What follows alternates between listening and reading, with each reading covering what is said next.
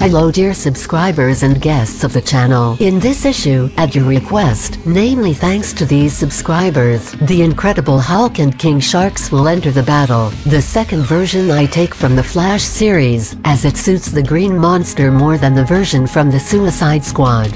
Guys, I want to turn to you. I ask you to support me as much as possible, so that the channel develops further. I will be grateful for any of your support. If you like the video, then be sure to subscribe subscribe, the channel will not stand still, and I will constantly update it. Guys, make yourself comfortable, put likes, and we begin.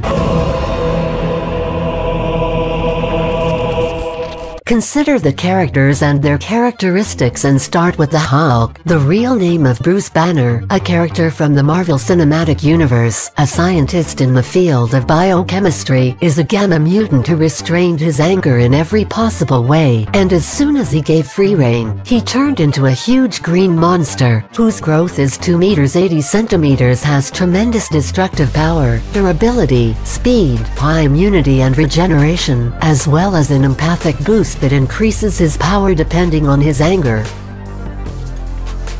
And now consider the Shark King, real name Shay Lamden, a character in the DC Universe, a former scientist, marine biologist. He is a metahuman, with the characteristics of a human and a great white shark. This monster has a height of 4 meters, a huge shark mouth, increased regeneration, strength, tact, electrolocation, the ability to stay and act freely both on land and in water. The latter is his main habitat, where his abilities are additionally increased. Let's now look at what advantages these characters have. In terms of size, the advantages of the King of Sharks, namely in height, and in terms of additional equipment, they are approximately equal, and more specifically in muscle mass, except that the Hulk is broad in the shoulders. But still, in general, the advantages of the King Sharks, namely due to growth, but in terms of strength, the Hulk will surpass. Yes, the Shark King is just as strong. He easily tore the roof of the house, but the Hulk showed more in this regard.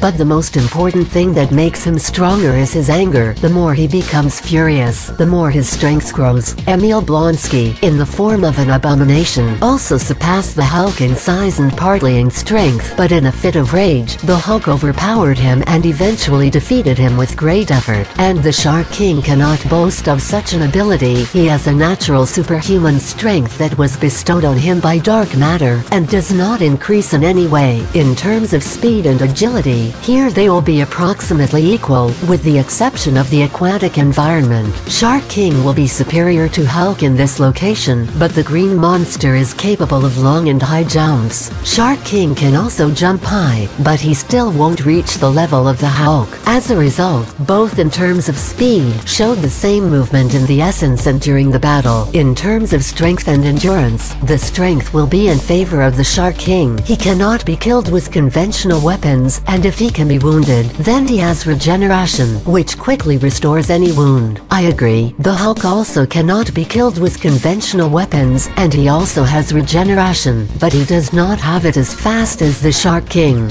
But the Hulk will be superior in endurance, as he withstood the powerful blows of the Abomination. Let me remind you that this character in some places surpassed the Hulk in strength, and also did not pass out after being hit by a heavy chain metal object, and King Sharks was just knocked out by Grodd, a foreign object, and since I take into account strength and endurance as one point, then here they will have a draw. As for the intelligence, I think everything is clear here. The Shark King will surpass the Green Monster. He was able to outwit the guards of the Argus and escape, and he could also talk and act tactfully, and the Hulk's intelligence was below average, and was equal to the intelligence of a child. In general, I would not say that the Gamma Mutant is so stupid. He could use foreign objects in battle for both attack and defense. But still, in this regard, he will be inferior to the Shark King. So, the Shark King is superior in terms of characteristics, but now we will find out if he can emerge victorious in a possible battle.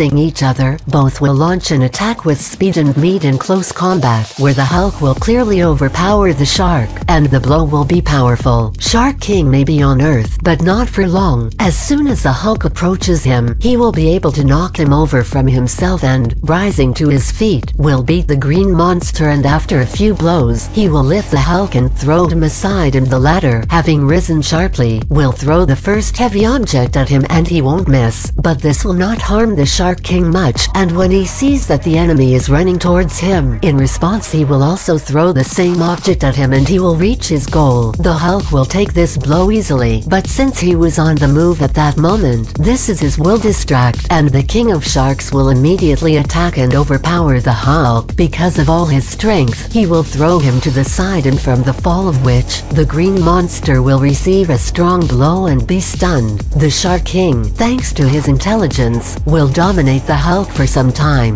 but the green monster is also not stupid and, having risen to its feet, can use certain objects against the Shark King in battle and the shark, noticing that he was preparing for battle again, head for him, but this time, the Hulk will meet him with dignity, and with a couple of powerful blows, he can lay the amphibian on the ground and finish him off. After such powerful blows he will be knocked out and the Hulk, having knocked out the enemy, will throw him far away from himself and will see him off with his furious gaze, but since their possible battle will probably take place in the city, well, as they usually like to do in Hollywood, in that case, King Shark's body can hit or hit a power line after being thrown by the Hulk, and it can charge up. At least that's how we've been shown in the show, and we'll follow that rule. And the Shark King, having charged, can become strong for a while, and he can attack the Hulk again and the second one also attacks him, but he can get a powerful blow blow right in the jaw, from which the Hulk will simply be thrown away and the Shark King, lifting him up, will press him against the wall where he will try to strangle him.